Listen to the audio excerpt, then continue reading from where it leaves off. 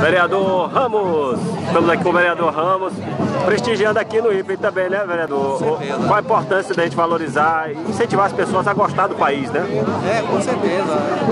Ainda a, data do dia 7 de setembro é uma data importante para o nosso país. É, e o mais importante ainda é o que o nosso prefeito Fabinho está fazendo, resgatando é, é, uma data tão importante como é a data do dia 7 de setembro, trazendo o desfile em todos os bairros da cidade. O que, que você achou dessa descentralização para os bairros aí? Foi, Foi ótimo, porque Foi legal? a participação da sociedade, dos pais, dos alunos, dos alunas, crianças, Verdade. ensino é, fundamental não